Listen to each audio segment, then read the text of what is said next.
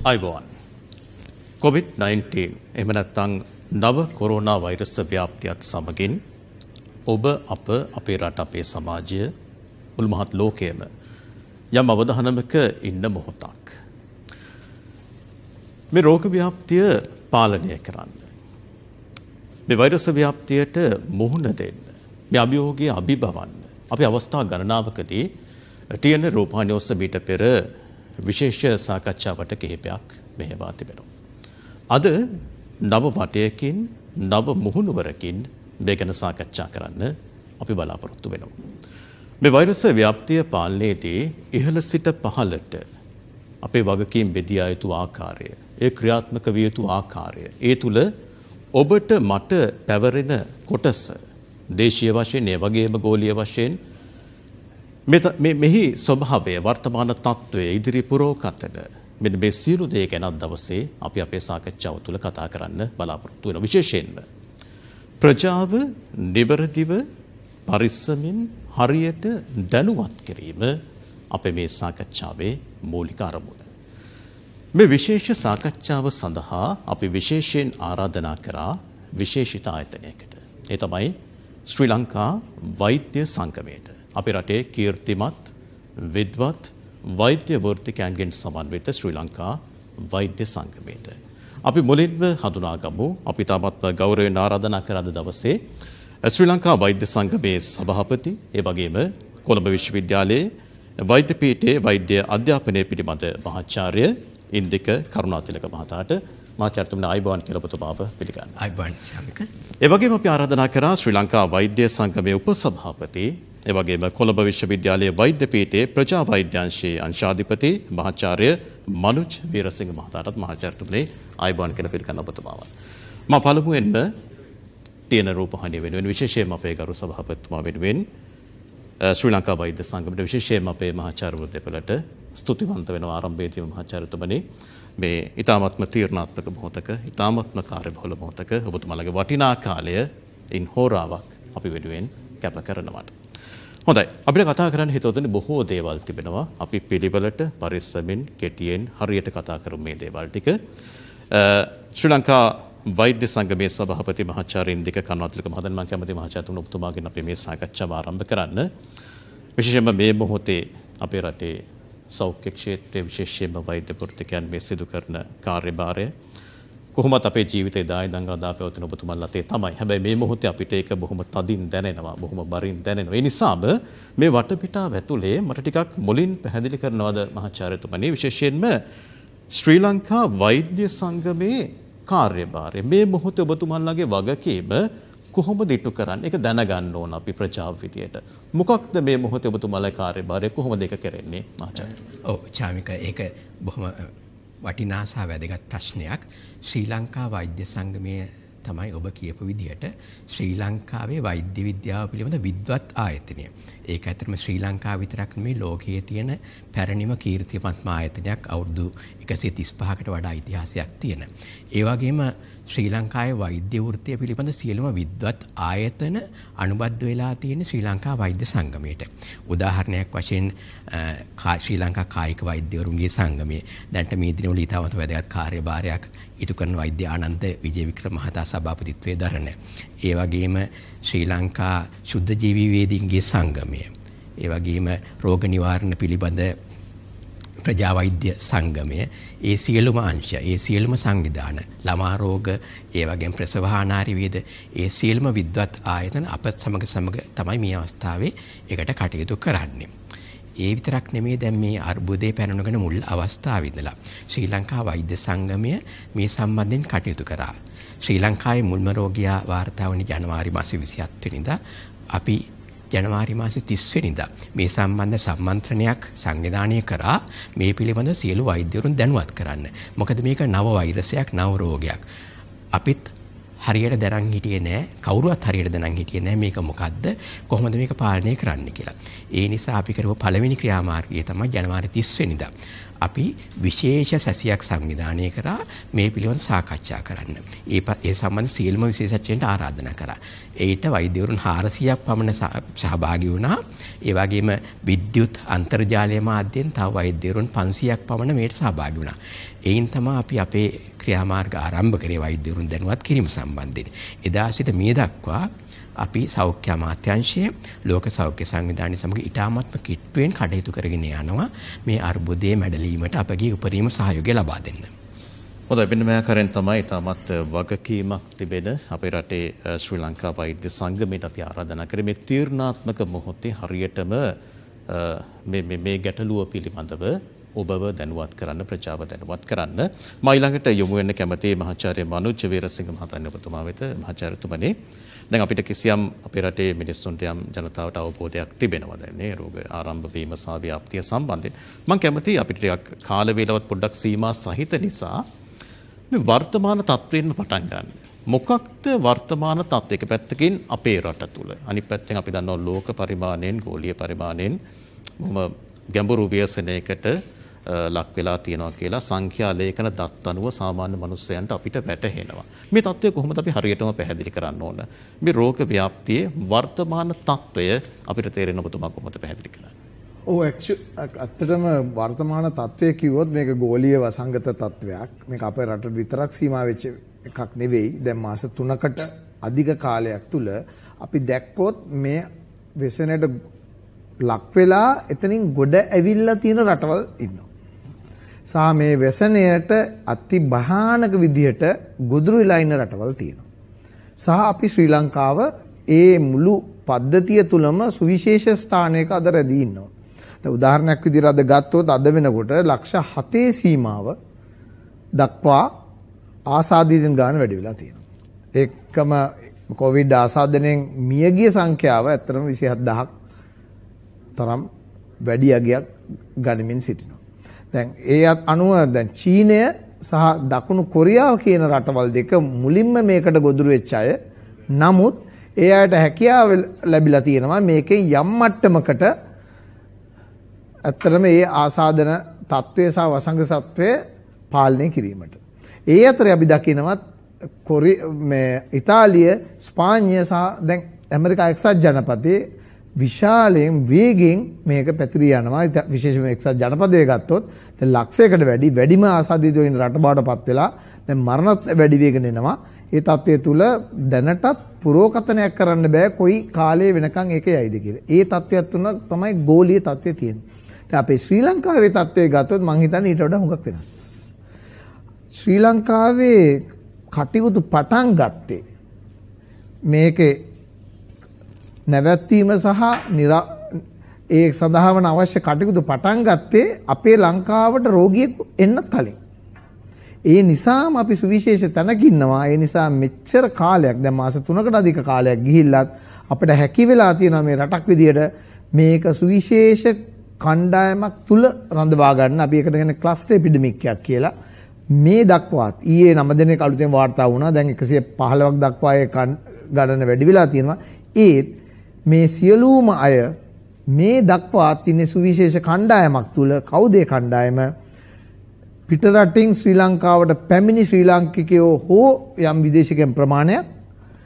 ඒ පැමිණි අයගේ ඊටාම කිට්ටු පවුලේ සමාජිකයන් පිරිසක් සහ ඒ අයත් එක්ක රැකියාව හෝ වෙනත් කටයුතු වලදී ඊටාම කිට්ටුවෙන් ආශ්‍රය කළ පිරිසක්. ඒ පිරිස තුල පමණක් මේ වසංගතය රැක ගැනීමට එහෙම නැත්නම් ඉතින් පිටට නොයා රැක ගැනීමට මේ දක්වාත් ශ්‍රී ලංකාවේ සෞඛ්‍ය අමාත්‍යාංශයත් ත්‍රිවිධ හමුදාවත් සිසු අයත් මාධ්‍ය ආයතනත් ඉතා පැහැදිලිව මම කිය යුතුයි. කරපු කාර්යභාරය නිසා අපිට හැකි වෙලා තියෙනවා. ඉඳලා ඉතා පැහැදිලිව කියන්න ඕනේ.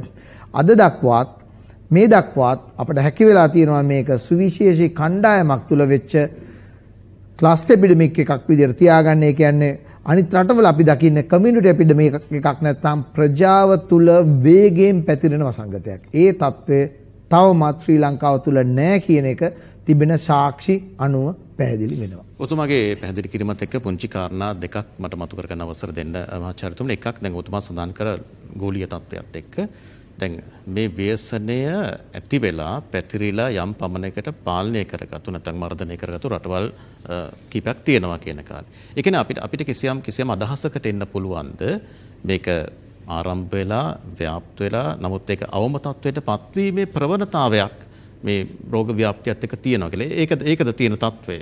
ඔව් ඒක නිකන් වෙලා නැහැ. විශේෂයෙන්ම චීහාන් චීනයේ වූහන් පළාතේ සහ දකුණු කොරියාවේ. ඒ අය චීනයේ වසංගතය පටන් ගත්ත තැන නමුත් කාලයක් ගියා ඒගොල්ලන්ට වසංගත තත්ත්වය තේරුම් ගන්න හැබැයි ඊටාම හොඳින් ඒක සඳහා වන ක්‍රියාමාර්ග වල ලැබුණා. ඒ ක්‍රියාමාර්ග අද පටන් ගන්නවා හෙට පොඩ්ඩක් ලිහිල් කරනවා අනිද්දා ආයෙ බලනවා එහෙම නෙවෙයි. එක දිගට මාසෙකමාරකට වැඩි කාලයක් එක දිගට එක දිගට ඒක ක්‍රියාත්මක කරපු හින්දා චීනයට පුළුවන් වුණා වුහන් පළාතට සියලුම රෝහල් වහලා පිට වෙලා යන්න. දැන් එහෙ එන්නේ පිටින් ආපු අයගෙන්. කොරියාව දවස් දෙක තුනක් තුල කියන්නේ පෙබරවාරි මට මතක 15 වෙනිදා පළවෙනි රෝගී ආසාදනය සහ ඒක ආවේ දවස් දෙක තුනක් තුල පටන් ගත්තා. ඉතාම පැහැදිලි හොඳ ක්‍රමයක් ගියා. දැන් එයා ගැන අපි ජාත්‍යන්තරව කතා කරන්නේ නැහැ. මෙන්න මේ කාරණේ තමයි ඉතාමත්ම වැදගත්. මෙන්න මේ කාරණේ තමයි අපි ඔබට පැහැදිලි කරන්න උත්සාහ ගන්න. මෙන්න මෙහෙම තත්වයක්, මෙන්න මෙහෙම ගෝලීය තත්වයක් සහ ඊට අනිත් පැත්තෙන් ශ්‍රී ලංකාවත් එක්ක සංසන්දනය කරාම තියෙන තත්ත්වය අපේ මහාචාතුමා ලස්සනට පැහැදිලි කරනවා අපිට දැනෙන විදියට. අපි තවදුරටත් මේ ගැන කතා කරමු. මේ තුල අපේ වගකීම් ගැන ඉදිරියේදී අපි අනිවාර්යයෙන්ම සාකච්ඡා කරනවා මේ තත්ත්වය කොහොමද අපි පාලනය කරගන්නේ කියලා. මම ඊළඟට නැවතත් යොමු වෙන්න කැමතියි මහාචාර්ය ඉන්දික කරුණාතිලක මහතාණන් ඔබතුමා වෙත. දැන් මෙතුමා පැහැදිලි කරා වර්තමාන තත්ත්වය දේශීය හා ගෝලීය වශයෙන්. අපිට ටිකක් පැහැදිලි කරන්න ඇයි මේ වෛරසය මේ තරම් ව්‍යාප්ත වෙන්නේ? මොකක්ද මේ ව්‍යාප්තියට හේතුව? ඇයි ඒක සිද්ධ වෙන්නේ? මේක කොහොමද අපි ටිකක් පැහැදිලි කරන්නේ? ඔව්. ඇත්තටම අපි ඒක දැනගන්න එක ඉතාමත් වැදගත්. ඇයි මේ තරම් වේගෙන් ලක්ෂ ගණන් ලෝකෙ පුරා මේ රෝගී කොහොමද පැතිරෙන්නේ? අපිට මේක පැහැදිලි කරන්න පුළුවන් දැනට අපිට තියෙන නවතම විද්‍යාත්මක තොරතුරු පදනම් කරගෙන. එක කරුණක් තමයි මේක අලුත්ම වෛරසයක්. දෙදස් දහනවේ දෙසැම්බර් මාස් තමයි මුලින්ම මේ ගැන හොයාගත්තේ. අලුත් වෛරසයක් කියන්නේ එතකොට අපිට මේකට ප්‍රතිශක්තියක් නැහැ. මේ ලෝකේ අපි හැමදෙනාම මේ වෛරසයට නිරාවරණය වෙලා තින අපේ ඇඟේ ප්‍රතිශක්තිය මේකට හැදෙන්න කල් ගන්නවා. තාම මේ ප්‍රතිශක්තිය නැහැ. ඒ වගේම තමයි මේ වෛරසයට තියෙනවා ඒ හේතුව නිසාම ඊටා වේගින් ආසාදනය වීමේ හැකියාවක්. දැන්ට අපිට ලෝකේ තියෙන තොරතුරු ගත්තාම විද්‍යාත්මක තොරතුරු අනුව ගත්තාම අපිට කියන්න පුළුවන් මේ වෛරසය වැළඳුන එක රෝගියෙකුට පුළුවන් තව රෝගීන් දෙන්නෙක් ඉඳලා පස් දෙනෙක් දක්වා සංඛ්‍යාවකට මේ රෝගේ බෝ කරන්න. ඉතින් ඒක ටිකක් ඉහළ සංඛ්‍යාවක්. ඒ වගේ මේ වෛරසයේ බීජෝෂණ කාලය ඒකත් දැනට තියෙන තොරතුරු අනුව දවස් 6 ඉඳලා සති දෙක දක්වා වෙන්න පුළුවන්. සමහර විට අඩු වෙන්නත් පුළුවන්, වැඩි වෙන්නත් පුළුවන්. දැන්ට තියෙන හොඳම තොරතුරු ගත්තාම මධ්‍යගයක් ගත්තාම අපිට ලංකාවේ නම් දවස් 6ක් වගේ අගයක් කියන්න පුළුවන්. එතකොට අපි මේ සරලම தත්ත්වය බැලුවාම අපි මේක සති දෙකෙන් දෙකට දෙගුණ වෙන්න පුළුවන්. ඒ කියන්නේ අපි මේක පාලනයක් නැතුව අර මහාචාර්යතුමා කිව්වා වගේ පාලනයක් නැතුව මේක යන්න ඇරියොත් සතියෙන් සතියට මේක දෙගුණ වෙනවා. එතකොට අපි බලන්නේ ගුණෝත්තර ශ්‍රේණියක් වගේ චක්‍රයක් දිහා. ඒකයි මේ අනිත් රටවල් ඉතාලිය, ඇමරිකා එක්සත් ජනපදයේ වගේ රටවල මේක දැන් පාලනයෙන් පිට පැනලා තියෙන්නේ. එතකොට මේක දෙගුණ වෙවි යනවා. මුලදී දෙගුණ වෙන එක හරි පොඩ්ඩයි. 2 4 8 16 වගේ. ඒත් මේක 1000 2000 10000 20000 වෙන්න ගත්තට පස්සේ ලක්ෂ දෙලක්ෂ වෙන්න වැඩි කාලයක් යන්නේ නැහැ. ඉතින් මේක පාලනය කිරීම ඉතා වැදගත්. මේ චක්‍රය කඩන එක තමයි අතිශයින්ම අවශ්‍ය දේ වෙන්නේ. ඉතින් මෙතෙන්ද තමයි රෝග නිවාරණය මගින් මේ චක්‍රය කැඩීම අනිවාර්යයෙන්ම කළ යුතු දෙයක්. නැත්තම් වැඩි කාලයක් යන්න ඉස්සෙල්ලා පාලනයකින් තොරව මේක යන්න දුන්නොත් මුළු රටම මේක වහගන්නවා. අන්න ඒ කාරණත් එක්ක මහාචාර්යතුමනි දැන් දැන් ඔබතුමා පැහැදිලි කරා මීට පෙර අවස්ථාවේ දැන් ලංකාවේ වර්තමාන තත්ත්වයනේ. කියන්නේ අපි අපි අපි මොන වගේ තැනකද ඉන්නේ කියන කාරණේ. දැන් මේක ඉස්සරහට වෙන්න નિયમિત පුරෝකතන ටික මොකද්ද මම මම පැහැදිලිව සඳහන් ඔබතුමාගෙන් විමසන්නේ විය හැකි දේවල් ටික මොකක්ද විය හැකි අපිට අපි මෙතුමත් පැහැදිලි කර ආකාර ගුණෝත්තර ශ්‍රේණි වලින් වැඩි වීමේ සම්භාවිතාවක් අපි දැක්කා විදේශ රටවල මම කියන්නේ අපි වගේ රටක විය හැකි කාරණා ටික මොකද්ද කොහොමද ඒ සඳහා ඒකට අපි සූදානම් වෙන්න ඕන. ඔව් ඇත්තටම අපි ඒ සම්බන්ධයෙන් ඊටාම දැඩි අවධානයක් යොමු කරලා ඊයේ දවස තුල ඒ සඳහා වන අපි ඇත්තටම දවස් 6ක් විතර 7ක් කාලයක් තුල කොළඹ විශ්වවිද්‍යාලයේ ගණිතාංශයේ ඉන්න අපේ ආචාර්යවරයෙකුත් මාත් සම්බන්ධ වෙලා අපි ගණිතමය ආකෘතියක් ඒ සම්බන්ධයෙන් හදලා අපි ඇත්තටම සෞඛ්‍ය අමාත්‍යාංශයේ ඉහළ නිලධාරීන්ට සහ වසංගත රෝග අංශයටත් ඒක අපි ඒක සාකච්ඡාවක් කරා ඒකේ තව තව පොඩි වෙනස්කම් කීපයක් කිරීමේ කටයුත්තේ තමයි මේ වෙලේ ලියලෙන්නේ. මෙතන අපි තාම තේරුම් ගත යුතු කාරණයක් තියෙනවා මම ඒක නැවත නැවත කියන්නේ දැනටත් අපි යන්නේ ප්‍රජාවෙන් බෝ වෙන තත්වයක් තුල නෙමෙයි මේ රටේ. ඉතා පැහැදිලි වෙන්න ඕනේ මොකද ඒ කාරණය එච්චර හොඳට ග්‍රහණය වෙලා නැහැ බහුතරයකට. ඒක ඉතා පැහැදිලිව කියන්න ඕනේ. දැනටත් යන්නේ සුවිශේෂ කණ්ඩායමක් තුල මෙතන හැදිච්ච බහුතරයක් ඉන්නේ පිටරටින් ආපෝය හෝ ළඟ අසුරු කරපු අය විතරයි. ඒ තත්වයක් තුල පුරෝකතන දෙනකොට මෙන්න මෙහෙමයි. අපි පුරෝකතනය දෙන්නකොට කරුණු දෙකක් තියෙනවා. එකක් ඒ සුවිශේෂ කණ්ඩායම තුල ඔක හැසිරෙන්නේ කොහොමද? ඒ සුවිශේෂ කණ්ඩායමින් බැහැරට ගිහිල්ලා ප්‍රජාවට ඕක આવොත් හැසිරෙන්නේ කොහොමද? ඕක කරුණු දෙකක්. දැන් ওই සුවිශේෂ කණ්ඩායම් තුල හැසිරෙන එකට තමයි අපි දකින්නේ දැන් දවසක් එනවා. හිටපු ගමන් දවසක් කවුරුත් නැති වෙනවා. ආයෙ දවසක හතර හතරක් පහක් එනවා. හිටපු ගමන් 13ක් ආව වැඩිම කොටස.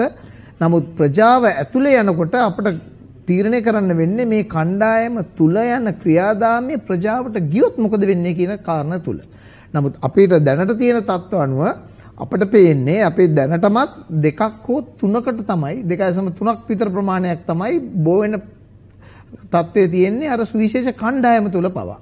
එතකොට ඕක ප්‍රජාවට ගියොත් මොකද්ද වෙන්නේ කියන එක තමයි මම හිතන්නේ පැහැදිලි කිරීමක් කරේ ගුණෝත්තර ශ්‍රේණියක් වගේ ඉහළ ඩිල්ලට යන්න පුළුවන්. ගැටලුව තියෙන්නේ මේකයි. අපිට තවම ප්‍රජාවේ පුරකථනයක් අපි දැනට කළා තියෙනවා මම ඒක මාධ්‍යයට මේ අවස්ථාවේදී ප්‍රකාශ කරන්නේ නැහැ මොකද ඒක කතා කරන්න ගියාම වෙන්නේ අපි අනවශ්‍ය තොරතුරු අනවශ්‍ය තැන්වල කතා කිරීමක් මොකද මේක කරන්න ඕනේ අපේ පුරෝකතන අවශ්‍ය වෙන්නේ සෞඛ්‍ය සේවා නිලධාරීන්ට ඒගොල්ලෝ කොහොමද මේක කල්පනාකරණය කරන්නේ. ඒක අවශ්‍ය වෙන්නේ ආරක්ෂක අංශය වලට ඒගොල්ලෝ ඒගොල්ලන්ගේ ඉන්න සේවක මහතුරුන් යොදවන්නේ කොහොමද. ආර්ථික අංශයට කොච්චර කාලයක් මේ වසංගතයයිද ඒ අනුව ආර්ථිකය හසුරවන්නේ කොහොමද? ඒ කටයුත්තට තමයි මේ පුරෝකතන වැදගත් වෙන්නේ. නැතුව අපි අර ඡන්දයකදී ඡන්ද ප්‍රතිඵල එනවා වගේ තීර එකක් ඉස්සරහින් ඉඳගෙන ඔන්න අද 4යි ඔන්න 8යි අන්න අද මරණයක් කනගාටුවෙන් වුණා කියන්න නෙවෙයි. ඒ හින්දා මං හිතන්නේ එතන ඉඳගෙන තමයි මම මේ මාධ්‍ය සාකච්ඡාවට සහභාගී වෙන්නේ. වෙන හරි වටිනවා අපේ මහචාතුමා මේ කාරණේ පැහැදිලි කිරීම සම්බන්ධයෙන්. මට හැබැයි පොඩි ගැටලුවක් තියෙනවා මාධ්‍යවේදියෙක් විදිහට මේක දැකලා තියෙන මේක අපි අපි මේ සාකච්ඡාව කරන්නේ මේ තත්ත්වය නිවැරදි කරන්න කර මහාචාර්යතුමනි. හැබැයි අපි දැකලා තියෙනවා ඔන්න ඔය ආකාරයේ ඔබතුමා කියපු ආකාරයේ පුරෝකතනයන්. ඒක ඔවුන් වඩාත් ඒ කියන්නේ මේ මේ වඩාත් සද්භාවයෙන් කරනව වෙන්න පුළුවන් නේ මේ අවධානම දැකලා මිනිස්සුන්ගේ මේ මේ තත්වයෙන් බලක්ව ගන්න. හැබැයි අපි දැකලා තියෙනවා මාධ්‍යවල නැත්නම් අන්තර්ජාලයේ සමාජ මාධ්‍ය හරහා ඒ බොහොම වගකීමක් තියෙන අපේ රටේ විද්වතුන් පවා යම් යම් අවස්ථාවලදී මේ ආකාරයේ විය හැකි දේවල් පිළිබඳව කියනවා. දැන් මේ මේ தත්ත්වය අපි අපි කොහොමද කිසියම් දුරකට සමනය කරගන්නේ පාලනය කරගන්නේ මේක අවශ්‍යයි නේද කිසියම් ඒකමතියක් තුල මේ මාධ්‍ය හසුරුවන්න නැත්නම් මේ මාධ්‍ය තුලින් ජනතාව දැනුවත් කරන්න කිසියම් ඒකමතයක් අවශ්‍යයි නේද මේ මොකද මධ්‍යගතභාවය. පැහැදිලිව ඒක ජනමාධ්‍ය එක පැත්ත කාර්යභාරයක් ඒකම මේ සම්බන්ධයෙන් අදහස් ප්‍රකාශ කරන කතා කරන වෘත්තිකයන්ගේ කාර්යභාරයක්. මොකද වෘත්තිකයෝ කියන දේ තමයි ජනමාධ්‍යෙන් පිටට වෙන්නේ. ඒ නිසා මේ තාක්කල් ශ්‍රී ලංකාවේ වසංගත රෝග පාලනය කරේ කවුද? ඒක සඳහා සෞඛ්‍ය අමාත්‍යාංශය ඉන්නවා. ඒකේ විශේෂිත ඒකකයක් ඉන්නවා වසංගත රෝග අංශය. ඒ අංශය තමයි මේ වෙනකොටත් භූමියේ මේ කටයුත්ත නියලා ඉන්නේ. මේ සම්බන්ධයෙන් තියෙන හොඳම දැනුම සහ දත්ත තියෙන එතන. දැන් ශ්‍රී ලංකා යුද හමුදාව සහ අනිත් ත්‍රිවිධ හමුදාවම සම්බන්ධ වෙලා ඉන්නේ වසංගත රෝග ක්ෂේත්‍රයට. ඔය අපි කියන්නේ නිරෝධායනයේ ගෙවල් වල කරන සියලුම කටයුතු වෙන්නේ වසංගත රෝග අංශය සහ සෞඛ්‍ය අමාත්‍යාංශය තුල වෙන කාර්යභාරය තුල. ඒ නිසා ලෝකයේ හැමතැනමකම අපි ගත්තොත් සුවිශේෂ ආයතන තියෙනවා. ඒ රට තුල වසංගත තත්වයක් ආවහම ඒ සඳහා වන දෛනික වාර්තාව ලබා දෙනවා. ඒ සම්බන්ධයෙන් යම්කිසි විදිහට අධිකාරී බලයක් සමග ඒ කටයුත්ත කරනවා.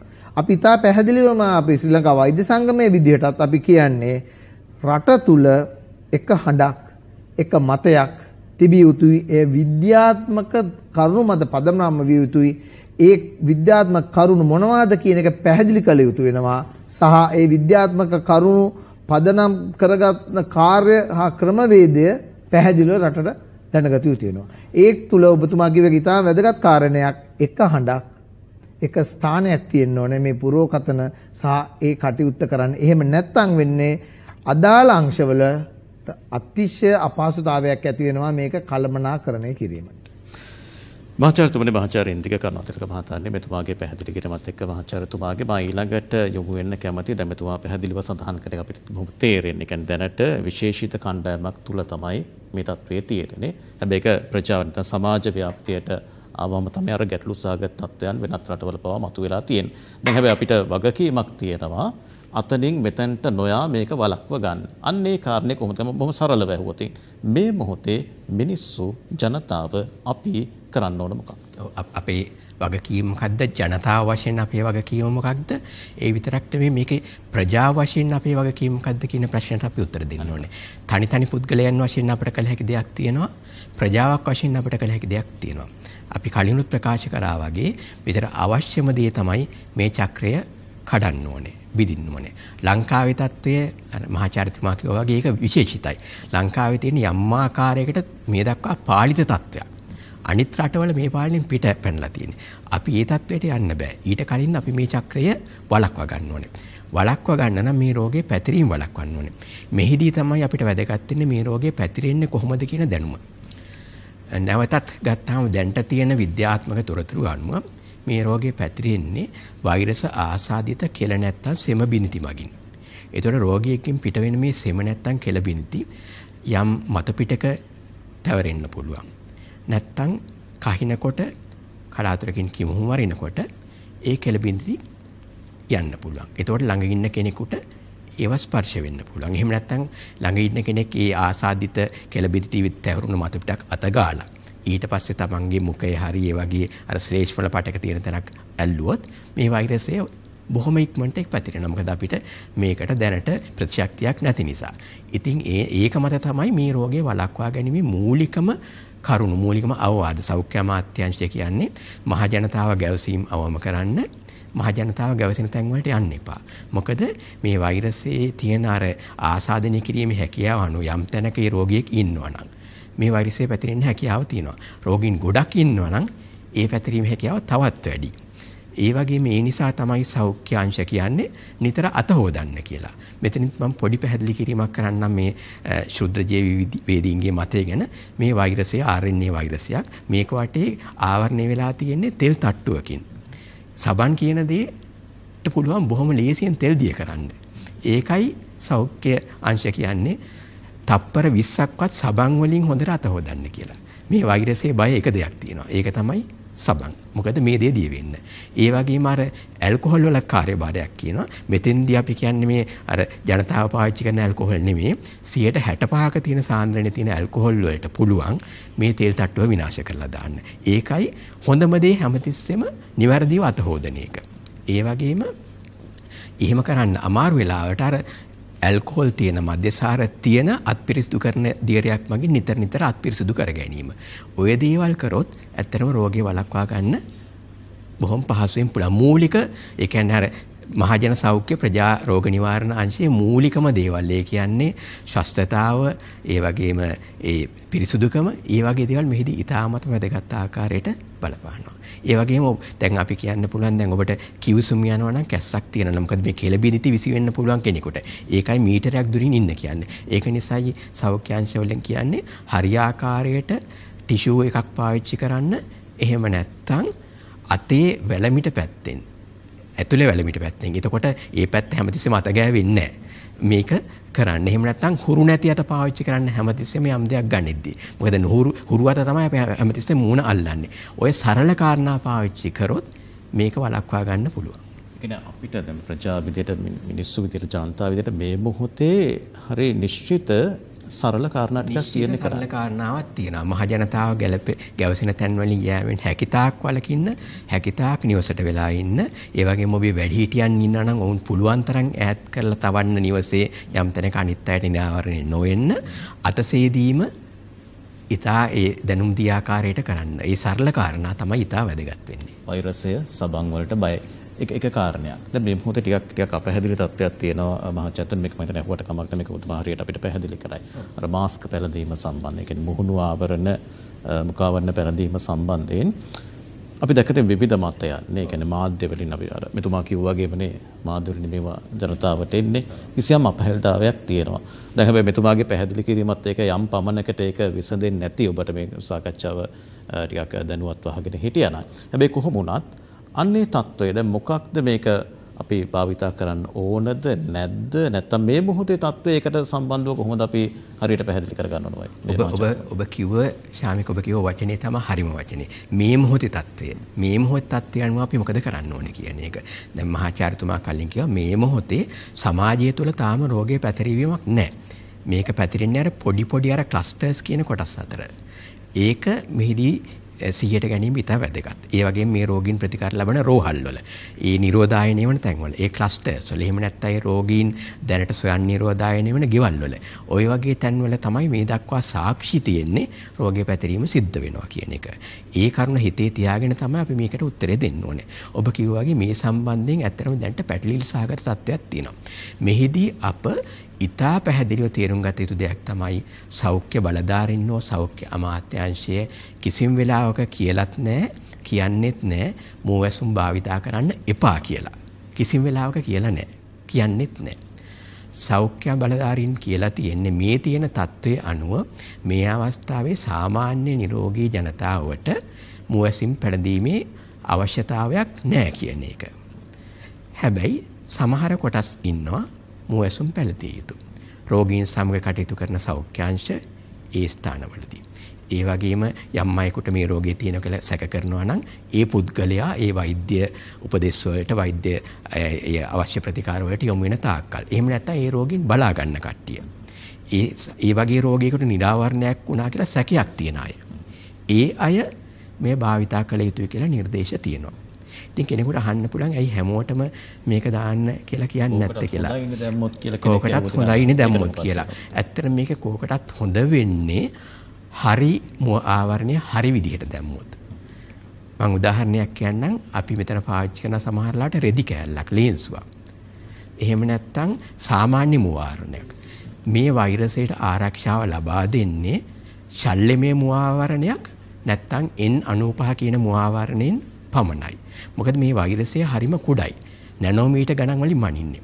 මුවාවරණයක තියෙන සිදුරු නැනෝමීටර් ගණන් වලින් නෙමෙයි තියෙන්නේ. ඊට වඩා දහස් වාරයක් ලොකුයි. ඉතින් ඒකයි රෙදි කෑල්ලක් දැම්මා කියලා එහෙම නැත්නම් ස්පොන්ජ් වලින් හදපු මුවාවරණයක් දැම්මා කියලා ආරක්ෂාවක් ලැබෙන්නේ නැත්තේ මේ මොකද අර ආසාදිත සෙම බිදිද්දකින් ඒ මත පතිත වන වෛරසයකට ඒ සුදුරු දැනෙන්නේ මහා විශාල දුරක් වගේ. ඒකට ඒක දැනෙන්නේවත් නැහැ. ඉතින් ඒක හරියට අපි උදාහරණයක් කිව්වොත් මේ කොළපත් දෙකක් බැඳගෙන ලසිත් මාලිංගේ පන්දු වලට මුණ දෙන්න යනවා වගේ දෙයක්. ඉතින් අපිට එතෙන්දී ආරක්ෂාව පිළිබඳ අපිට වැරදි වැටහීමක් වැරදි අපිට කන්ෆිඩන්ස් එකක් එතන ඇති වෙනවා. විශ්වාසයක් ආත්ම විශ්වාසයක් ඇති වෙනවා. ඉතින් ඒ ආත්ම විශ්වාසය මත අපි අමතක කරන්න ඉඩ තියෙනවා අර මූලික දේවල්. අතසේදීම මහ ජනතාව ඉන්න තැන් වලට ගැවසීම වගේ දේවල් අපි අමතක කරන්න ඉඩ තියෙනවා. තව දෙයක් තමයි වැරදි ආකාරයට මේක පාවිච්චි කරොත් රෝගේ වැළඳීමේ අවදාන වැඩි වෙන්න පුළුවන්. උදාහරණයක් වශයෙන් අපේ මූණේ යම් දෙයක් තියෙනකොට අපේ සාමාන්‍ය ප්‍රතික්‍රියාව තමයි මූණ අල්ලන එක. මොකද මේක බාහිර දෙයක්. දැන් ඕක ඔහොම වෙන්නේ මේ මුහුණු ආවරණ පැළඳීම මුළු ජීවිත කාලයක් තිස්සේම පුරුදුන වෘත්තීය වේදීන්ට උදාහරණයක් වශයෙන් ශල්්‍ය වෛද්‍යවරුන්ට. හැබැයි අපේ මුහුණේ මේක තියෙනකොට මේක අමුතු දෙයක්. අපි දන්නේ නැතුව අපි මුහුණ අල්ලනවා. ඒ මුහුණ අල්ලද්දී අපි මොන හරි මතු පිටක් ස්පර්ශ කරලා මුහුණ ඇල්ලුවොත් අපිමම අර වෛරසය අරන් අතේ අරන් අතන තියා ගන්නවා වගේ. ඊට පස්සේ අපි දා ඒ වෙලේ දාගෙන ඉන්නේ හරි විදියට නැති මාස්කයක් නම් ලේන්සුවක් නම් හරිම ලේසියෙන් මාස්ක් එකක් නොදන් හිටියට වඩා ඉක්මනට මේක පැතිරෙන්න ඉඩ තියෙනවා. ඒකයි සෞඛ්‍ය අංශ කියන්නේ මේ අවස්ථාවේ සියලු දෙනාට මේක පරිදීම අවශ්‍ය නැහැ. හැබැයි පළදින අවශ්‍යයි ඉන්නවා ඒගොල්ලෝ දාන්න. ඔබට දාන්න ඕන නම් අපේ විරුද්ධත්වයක් නෑ. හැබැයි දානවා නම් නිවැරදි මාස්ක් එක හරි විදිහට දාන්න කියන එක. මම ඊළඟට නැවතත් යොමු වෙන්න කැමතියි මහාචාර්ය මනෝජ් වීරසිංහ මහතා ඔබතුමා වෙත. අපි මීට පෙරත් කතා කරා මේ කිසියම් ඒකමතියක් තුල කිසියම් මධ්‍යගත භාවයක් තුල මේ මේ මේ තත්වයට මුහුණ දීමේ වැදගත්කම විශේෂයෙන්ම අපි වගේ රටක මොකද මේක අනිත් රටවල අපේ සමාජ ක්‍රම ටිකක් වෙනස් නිසා මේක අපි ටිකක් අවධානය කරගන්නවා. ඒ නිසා මහාචාර්යතුමනි එක පැත්තකින් අර නිරෝධායන ක්‍රියාවලිය ගැන මට පොඩ්ඩක් පැහැදිලි කරගන්න ඕන. මොකද අපේ ප්‍රජාව තුලින් සිදු වූ බොහොම වැරදි සහගත සිදුවීම් කිහිපයකට අපි මුහුණ දීලා ඉන්නේ. අපි අවධානයෙන් ඉන්නේ, අවධානයක් කරන් ඉන්නේ, අවධානමක් කරන් ඉන්නේ. එහි ප්‍රතිඵල සම්බන්ධයෙන්. අපි දන්නේ මොන වගේ තත්ත්වයක්ද කියලා. අන්න මෙන්න මේ තත්ත්වයන් වළක්ව ගන්න එක පැත්තකින් රජයේ ඉහළ සිට පහළට මේ වගකීම බෙදෙන ආකාරය සම්බන්ධයෙන් පොඩි පැහැදිලි කර ගැනීමක් අවශ්‍යයි මහාචාර්යතුමා. අනිත් පැත්තෙන් අර නිරෝධායන ක්‍රියාවලිය සම්බන්ධයෙන්. අපි පොඩ්ඩක් මුලින්ම කතා කරමු ටිකක් නිරෝධායන ක්‍රියාවලිය. මොකක්ද මේ නිරෝධායන කියලා කියන්නේ? ඇයි මොහොතේ ඇයි මේ මොහොතේ මේක අත්‍යවශ්‍ය වෙන්නේ? ඔව් පළවෙනිම කාරණය නිරෝධායනය. 2020 දී නිරෝධායන කියන වචනය හරියට 2004 දෙසැම්බර් 24 වෙනිදා සුනාමිය වගේ වුණා. ඒක තමයි ගැටලුව. ඒ වචනය පිළිබඳව සහ තිබ්බ අවබෝධයක් රටේ ජනතාව සහ විශේෂයෙන්ම පිටරටින් ආපු අය තුල තිබින් නැති වෙන. ඒක මම හිතන්නේ ස්වාභාවිකයි. නිරෝධායන කියන හැබැයි මේ අපේ ලංකාවට අලුත් දෙයක් නෙවෙයි. නීතිගත කරලා තියෙන්නේ 1897 ලෝකයේ මුල්ම නිරෝධායනය සඳහා වන මේ නීතිමය රාමුව ඇදිච්ච රටක් තමයි ශ්‍රී ලංකාව. නමුත් ඒක අපිට පාවිච්චි කරන්න උනේ නැහැ. ඒක තමයි ඇත්ත తත්වය. හරි. නිරෝධායනය කියන එකේ ඇත්තටම කොටස් දෙකක් තියෙනවා. ඒක විවිධ වැරදි විදිහට භාවිතා වෙනවා දැන්. නිරෝධායනය කියන එකේ පැහැදිලිම කරුණ වෙන්නේ යම් මට්ටමක අපි කියන්නේ සංචරණය මූමන්ට් කියන එක සීමා කිරීම. ඒ සීමා කරන්න පුළුවන් විදි තියෙනවා කීප විශේෂයෙන්ම දෙවිදිහක් තියෙනවා. ඒ කියන්නේ අපි පුද්ගලයෙකුට ආසාදිත වීමේ හැකියාවක් තිබේ යයි සැක කරනකොට. ඒ කියන්නේ මේ ආසාදිත වුණා කියන එක නෙවෙයි.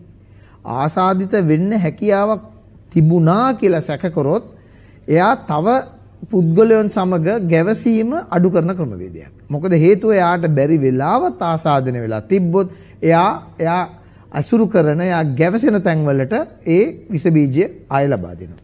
මෙන්න මේ පදනම මත තමයි නිරෝධායනය කියන මූලික සංකල්පය එන්නේ. එතනදී දෙකක් තියෙනවා කොටස් එකක් තමන්ට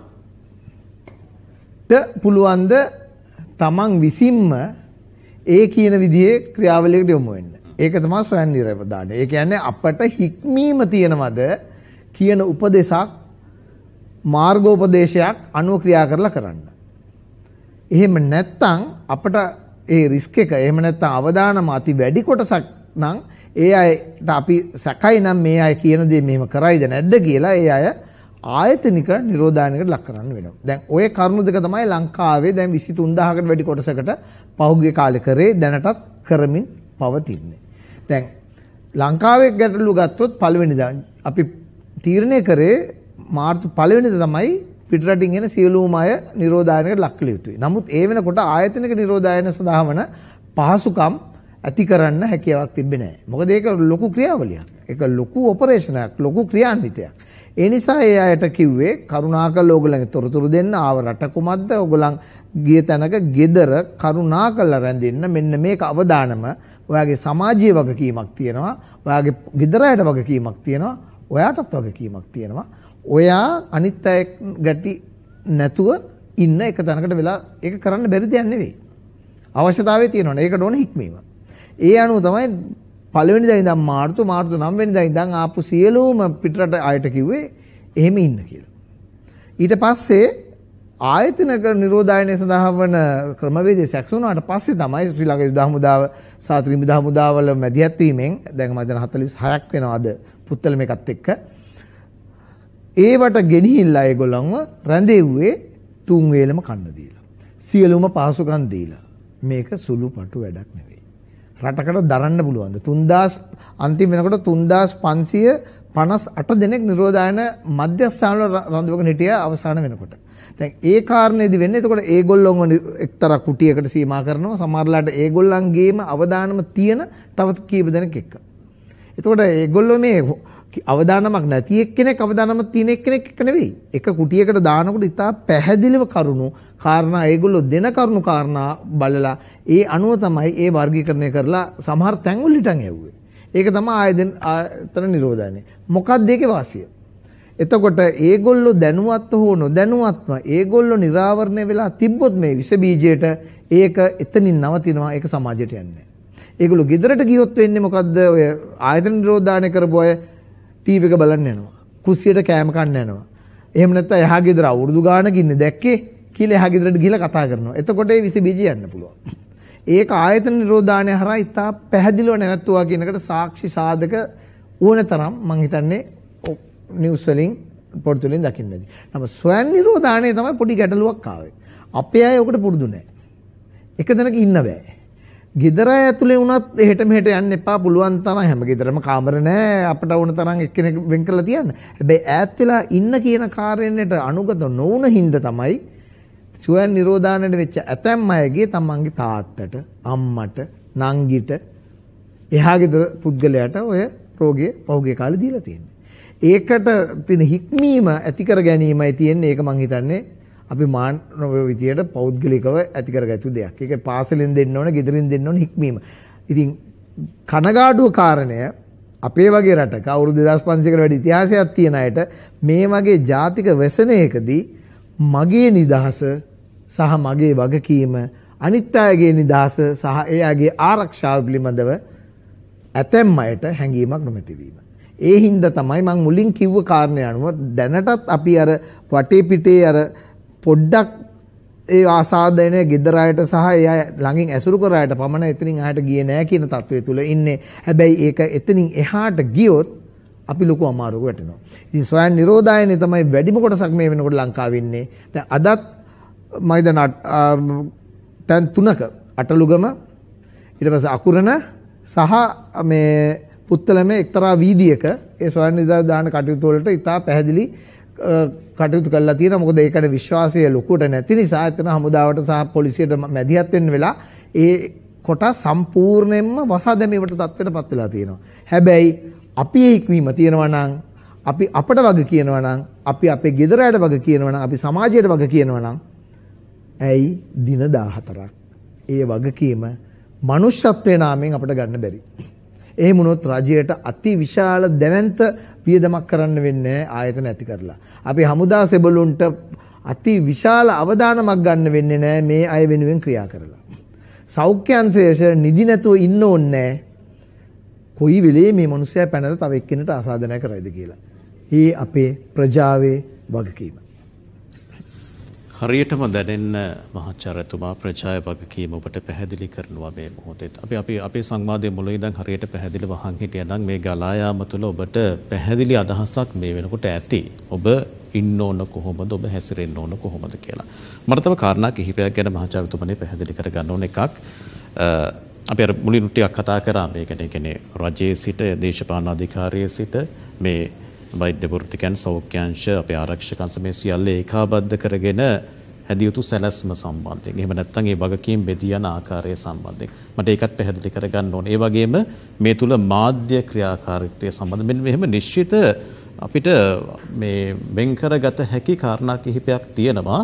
ජනතාවට මේ නිවැරදි පණිවිඩය ලබා ගන්න. ඉතින් අපි දන්නවා ඔබතුමත් සඳහන් කරා වගේ මේක බොහොම සංකීර්ණ කාරණයක්. අපි ගෙදරට වෙලා ඉන්න කියලා කියනවා. හැබැයි ජනතාවට ප්‍රජාවට එදිනෙදා ජීවිත ගත කරපු ඔබට මට මේ తত্ত্বය ටිකක් ආදුනිකයි, අමුතුයි. නේ අපේ විවිධ ජන සමාජයේ විවිධ කාරණක ගැටමින් හිටපු අපිට මේ තත්ත්වයන් පාලනය කිරීමේදී බොහොම සංකීර්ණතාවයක් තියෙනවා. මෙන්න මේ දේවල් අපි කොහොමද ඉස්සරහට කරන්නේ? දැන් මේ මේ මේ දක්වා සිද්ධිය පිළිබඳව ඔබතුමාලා අපිට පැහැදිලි කරනවා. දැන් මේ తত্ত্বය මොනතරම් කාලයක් යයිද කියලා අපිට නිශ්චිතව කියන්න පුළුවන්ද කියලා මම අහන්නම් ඔබතුමන්ගේ ඒක ඔබතුමා පැහැදිලි කරන්න. එහෙමනම් මේ ඉදිරි කාලේ අපි කොහොමද සැලසුම් කරන්න ඕන? මෙන්න මේක වැදගත්නේ මහාචාර්යතුමනි. ඉදිරි කාලේ අපි හැසිරෙන්න ඕන කොහොමද? ඉතාමත් වැදගත් ප්‍රශ්නයක්. මට මේකට ආකාර දෙකකට උත්තර දෙන්න පුළුවන්. එකක් තමයි අපි මේක සලකන්න ඕනේ විසන විසන අවස්ථාවක්, ඩිසාස්ට් එකක්, විනාශකාරී අවස්ථාවක්. එතකොට සාමාන්‍යයෙන් විනාශයකට මුණ දෙන ක්‍රම දෙකක් තියෙනවා. එකක් තමයි ඒ වෙලේ ප්‍රතික්‍රියා දැක්වීම අපි කියනවා ඉමර්ජන්සි රෙස්පොන්ස් කියන එක. ශ්‍රී ලංකාවේ ගොඩක් වෙලාවට ඒක බොහොම ඉක්මනට අනායාසයෙන් සිද්ධ වෙනවා. අපි ඒක දැක්කා සුනාමි කාලේ. හැබැයි මේ වගේ ආපදා කළමනාකරණය මේක ඇතරම ආපදාවක්. ජාතික ආපදාවක්. ජාත්‍යන්තර ආපදාවක්. ආපදා කළමනාකරණය පිළිබඳ නවතම ඒ මත අනුව මේක පියවර ගණනාවකට සිද්ධ වෙනවා. අපි ඉංග්‍රීසියෙන් කියනවා prevention preparedness mitigation emergency response recovery and rehabilitation කියලා. සිංහලෙන් කිව්වොත් මුලින්ම වළක්වා ගන්න එක. ඒක තමයි වැදගත්ම දේ මෙතන. ඊළඟට පෙර සූදානම ඊළඟට මේක ඇති වුණොත් අපි මේකට කොහොමද මුහුණ දෙන්නේ? ඒක ඉමර්ජන්සි හදිසි තත්ත්ව වලට කොහොමද මුහුණ දෙන්නේ? ඊට පස්සේ අපි මේකෙන් කොහොමද රටක් ජාතියක් වශයෙන් ගැලවෙන්නේ? අපේ අනාගතය සැලසුම් කරන්නේ. ඔය අංශ සියල්ලම සලකලා තමයි අපගේ පෙර සූදානම් සැලැස්ම විය යුත්තේ. ප්‍රිවෙන්ෂන් නැත්තම් වළක්වා ගැනීම ගැන අපි ගොඩාක් දේවල් කතා කරා. ඒ දේවල් ඒ ආකාරයෙන්ම සිදුවිය යුතුයි. මේක කිසිම ආකාරයක ලේසියෙන් ගත යුතු කරුණක් නෙමෙයි. අපේ දැන් තියෙන රෝගීන් 100 ගාණයි කියලා අපිට මේක පහසුවෙන් ගන්න බෑ. මොකද අපේ අවධානයෙන් මේක පිට පැනපු ගමන් අපේ පාලනයෙන් පිට පැනපු ගමන් මේ ගුණෝත්තර ශ්‍රේණිය බවට පත් වෙනවා. ඉතින් වැලකීම ඉතා වැදගත්. ඒ වගේම ප්‍රිපෙයාර්ඩ්නස් කියන එක අපේ සූදානම. දැන් රෝගියෙක් රෝහලකට ආවොත් අපි ඒකට සූදානම්ද? එතින්දී අපි කියන ට්‍රයාජ් කියලා දෙයක්. ඒ කියන්නේ මේ අවදානම් සහිත රෝගීන් වෙන් කරන්නේ කොහොමද? අනිත් රෝගීන්ට ප්‍රතිකාර කරන්නේ කොහොමද? මේ අවස්ථාවේ රෝහල් වලට බැරි වෙයි හැම රෝගියාටම ප්‍රතිකාර කරන්න. මෙහිදී අපිට නව ක්‍රම හොයාගන්න සිද්ධ වෙනවා. ඒ ගැන හිතන්න වෙනවා. ඊළඟට ඉමර්ජන්සි රෙස්පොන්ස් නැත්තම් ඒ එන රෝගීන්ට අපි කොහොමද ප්‍රතිකාර කරන්නේ? ඒ වගේම ICU නැත්තම් ඒ වගේ හදිසි ප්‍රතිකාරාංශ කොහොමද සුවදානම් වෙලා ඉන්න ඕනේ. ඒ වගේම තව දෙයක් තමයි මේක අපට පේන ආකාරයට සතියෙන් දෙකෙන් ඉවර වෙන දෙයක් නෙමෙයි. දැන්ට අපි මහාචාර්යතුමා ඇතුළු අපි කීප දෙනෙක් මේ සම්බන්ධයෙන් ගණිතමය ඒ ආකෘතිමයක් හදාගෙන යනවා. ඒ සම්බන්ධ තොරතුරු කියන්න මේක වෙලාව නෙමෙයි. එහෙම වුණත් අපි සරල කරුණු සලකලා බැලුවොත් මේ වෛරසයේ බීජෝෂණ කාලයේ සති එකිනෙක දෙක දක්වා කියනවා නම් අපි මේ දකින ඉලක්කම් මීට සතියකට නැත්තම් සති දෙකකට කලින් සිද්ධ වුණ දේ අපි දකින්නේ. මේ මොහොතේ වෙන දේ අපි දකින්නේ නැහැ. ඒක දකින්නේ සති දෙකකින්. මේ මොහොතේ අපි වැරදි දෙයක් කරා නම් ඒකේ ප්‍රතිඵල අපිට එන්නේ තව සති දෙකකින්. ඒතර පරක් වැඩි. මොකද ඒ සති දෙක ඇතුළත තව දෙයක් වෙලා තියෙනවා. තව කොහේර තැනක. ඒ නිසා ඒ සම්බන්ධයෙන් ඒ සූදානම ඊටාම් වැදගත්. ඉතින් ඒ නිසාම තමයි අපිට කියන්න වෙන්නේ මේක සතියකින් දෙකකින් ඉවර වෙන දෙයක් නෙමෙයි. මේ මොහොතේ යම් පාලනයක් තියෙනවා නම් ඒ පාලනය අඩුම ගානේ තව මාසයක්වත් අපිට හරියටම කාලයක් කියන්න බෑ. වත් පවත්වාගෙන යන්න ඕනේ. මොකද මාසයක් කියන්නේ බීජෝෂණ කාල දෙකක්. අඩුම ගානේ. ඊට පස්සෙත් එයින් අදහස් වෙන්නේ අපිට කලින් ආකාරයට බොහොම ලිහිල්ව හැසිරෙන්න පුළුවන් කියලා. මේ පාලනය තව දීර්ඝ කාලයක් කරගෙන යන්න අවශ්‍යයි. එතකොට අපි හිතන්න වෙනවා රටක් විදිහට අපි කොහොමද මේ කොරෝනා එක ජීවත් වෙන්නේ කියන එක. අන්න ඒකට අපි යන්න ඕනේ. කොරෝනා වෛරසය සමග කොහොමද අපි ජීවත් වෙන්නේ?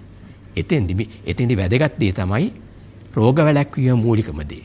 කොයි මොහොතක හරි අපේ පාලනයෙන් පිට පැන්නොත් අපිට මේක පාලනය කරන්න බෑ. අපේ තියෙන ඉතා හොඳ සෞඛ්‍යංශයක්. ඒවට ලෝකෙ කිසිම සෞඛ්‍යංශයකට රෝග රෝග සුව කිරීමේ අංශයකට බෑ මේ පාලනයෙන් පිට පැන්නොත් ඒට මුහුණ දෙන්න. ලෝක කිසිම රටකට බෑ අපිට විතරක් නෙමෙයි. ඉතින් පාලනය කරගැනීම ඉතා වැදගත්. ඒ පාලනය පවත්වාගෙන යන ගමන් ඒකට හැඩගැහින්න අපිට පුළුවන් වෙන්න ඕනේ. එතෙන්දි තමයි සෞඛ්‍යංශ ආර්ථිකය ජනතාව අධ්‍යාපනය අපි අලුත් දේවල් හොයාගන්න ඕනේ. අලුත් මං හොයාගන්න ඕනේ. ඒ සමග හැඩ ගැහින්නේ. ඒකට ඇඩප්ට් වුණොත් හැඩ ගැසුනොත් මං හිතන්නේ ශ්‍රී ලංකාවට රටක් විදිහට මේන් ගොඩ එන්න පුළුවන්. හැබැයි ඒ වගේම මම හිතනවා රටක් විදිහට මේකෙන් ගොඩ එනවා නම් ඒක ශ්‍රී ලංකාව විතරයි කියන එක. ශ්‍රී ලංකාවට පුළුවන් ඒකෙන් ගොඩ එන්න. හේතුව අපේ තියෙනවා ඊ타ත්ම ශක්තිමත් රෝග නිවාරණ අංශයක්. අද ඊ ඇති වුණ එකක් නෙමෙයි දශක ගණනාවක් තිස්සේ ඇති වුණ රෝග නිවාරණ අංශයක්. ඒ නිසා තමයි මේ තරම් හොඳ නිරෝධායන වැඩසටහනක් මෙච්චර ඉක්මනට ක්‍රියාත්මක කරන්න පුළුවන් වුණේ. අපේ ඉන්න ඊටාමත් දක්ෂ වෛද්‍යවරුන්. තාම ඇති වෙලා තියෙන මරණ එකක් විතරයි. වෙනතර මරණ 10 ගණන්.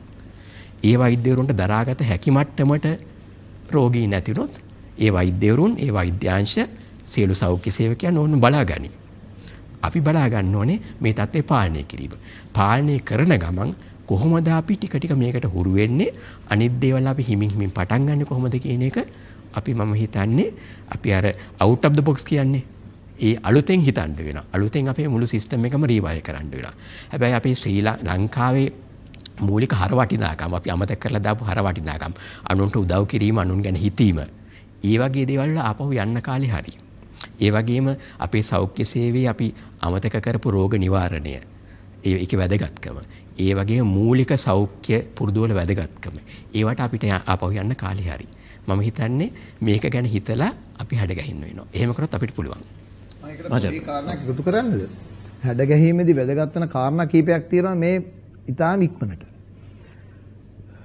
එකක් තමයි විශේෂයෙන්ම නගරාශ්‍රිත ජනතාව පුරුදු වෙලා ඉන්නේ කඩේට ගිහිල්ලා විශේෂයෙන්ම දැන් නම් සුපිරි විලද සංවලට මොකද අපේ කුඩා ගමේ කඩේ කියන එක පොඩ්ඩක් අයින් වෙලා තියෙන හින්දා ගිහිල්ලා පුරුදු වෙන්න. මං හිතන්නේ අපේ ආකල්පය විදියට පොඩ්ඩක් වෙනස් වෙන්න ඕනේ. දැන් සුපිරි වෙලද සසලට යන විදියට කරන්න බෑ. අපේ ආරක්ෂාව තා රටේ ආරක්ෂාව ගේ ගාවට එන ලොරියෙන් බඩු ගන්න. ඉස්සර අපි බලාපොරොත්තු වෙච්ච එක එක වෙළඳ නාම හොය හොය ඉන්න බෑ. මූලික අවශ්‍යතා කෑම බීම වලට තියෙන ඒ ලැබෙන බඩු මල්ල ඒක ඉස්සෙල්ලා හිතලා හදන බඩු මල්ලක් මූල අවස්ථාවලින් එන විදිහට නැත්නම් තමන්ගේම අවශ්‍යතා තමන්ටම ඕන එක වෙනුවෙන් පෙනී හිටින්නට බෑ. මාළු ලෑල්ලකට ගිහිල්ලා නැත්නම් කඩේකට ගිහිල්ලා ගන්න බැරි වෙයි එන ලොරියෙන් මාළු කෑල්ලක් ගන්න වෙයි. එළවලු ටිකත් එහෙමයි. තෝර තෝර ගන්න බෑ. ලැබිච්ච මල්ලෙන් සෑහීමකටපත් වෙන්න ඒ ආකල්පමය වෙනස අපිට සුමානයක් දෙකක් ගත කරන්න බෑ. අදම තීරණය කරන්න ඕනේ අපි තියෙන ප්‍රමාණ වලින් ජීවත් වෙනවා මොකද මේ අපි කරන ආයෝජනයක් ඒ ආයෝජනයේ ප්‍රතිඵල දෙපැත්තටම යන්න පුළුවන් අපි ආයෝජනය කරේ නැත්නම් අපේ පැත්තෙන් අපිට විශාල වෙසනකට යන්න පුළුවන් අපි හිතලා අපි ඒ ආයෝජනය කරොත් අපිට බේරෙන්න පුළුවන් මේ වෙසනෙන්. ඉතින් ඒක මං හිතන්නේ අද රට පුලායින සියලු දේවම හිතන්න ඕනේ පෙර නිදහස සීමා කරගත යුතුයි අපි අපිම.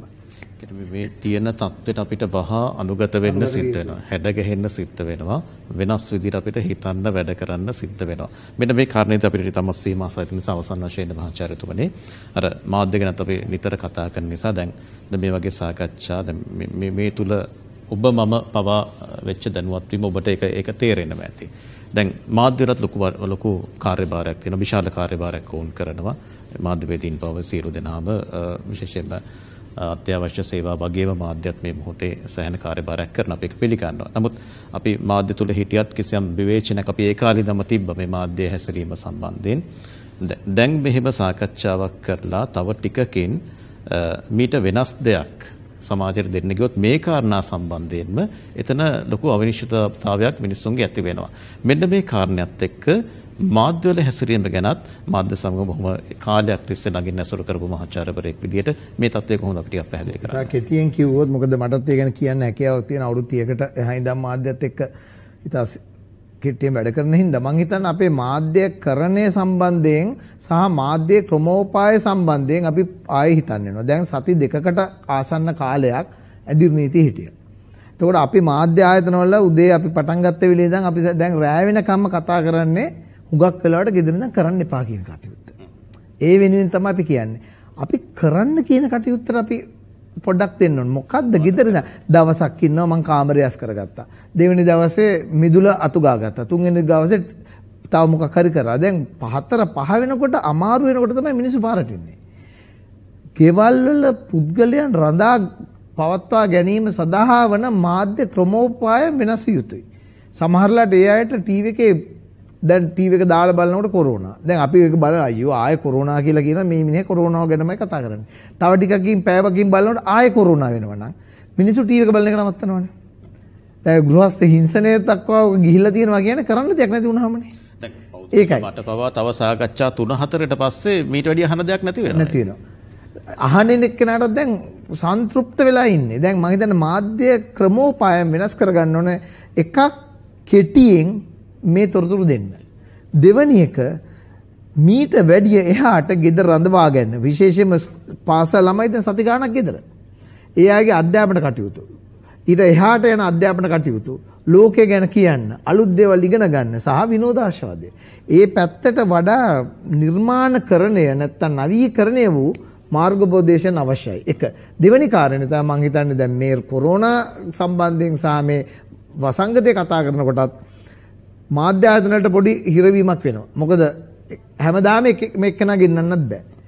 දැන් අපි දෙන්න මෙතන කතා කරලා ගිහලා තව ටිකකින් තව එක්කෙනෙක් එනවා. මම හිතන්නේ ඉතා සූක්ෂමව තෝරාගත යුතුයි. විශේෂයෙන්ම මාධ්‍ය සාකච්ඡා වලට ඔබලා ගේන්නේ කවුද? ඒ අයගේ තියෙන දැනුම කොයි ශාස්ත්‍ර වලට සීමා වෙනවද?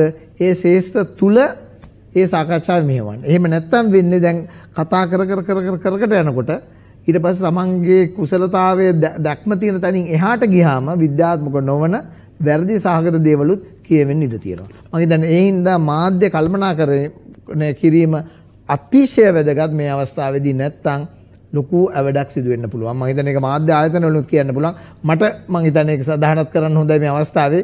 මගෙන් මාධ්‍යයක් දවස් දෙකකට කලින් අහපු පැනයකට මම දුන්න උත්තරයක් ඒක සම්පූර්ණයෙන්ම ඒ අහගෙන හිටිය මාධ්‍යවේදියා වැරදි විදිහට ඊයේ පත්‍රයක වාර්තා කරලා තිබුණා. ඊට පස්සේ ඒ වාර්තා කර තිබ්බ එකෙන් වැරදියට ලිව්ව වාක්‍ය දෙක අරගෙන තවත් වෙබ්සයිට් එකක් ඒ වාක්‍ය දෙක දාලා වෙනම සිරස්තලයක් දාලා සම්පූර්ණයෙන්ම වැරදි අර්ථකථනයක් දීලා ඉතින් ඒක බලපු අය මං ඊයේ බලනකොට රෑ 64000ක් බල්ලා ඒක. ඒවත් ගුණෝත්තර ශ්‍රේණිය වලින් තමයි ව්‍යාප්ත ශ්‍රේණිය නෙමෙයි ඊටත් වැඩි ශ්‍රේණිය වලින් ඒ කියන්නේ. ඊට පස්සේ වැරදි ඒව තමයි සමාජගත වෙන්නේ අන්තිමට අපි කිව්ව දේකුත් නෙවෙයි. මම හිතා ඒකයි තාම මම හිතන මාධ්‍ය විදියට මාධ්‍ය සදාචාරාත්මක විදියට මාධ්‍ය භාවිතා කරන්නත් ඕනේ. අහන අයත් සීබුද්ධියෙන් අහන්න ඕනේ. අපි සෑහෙන කලක් මේ ගැන කතා කරා.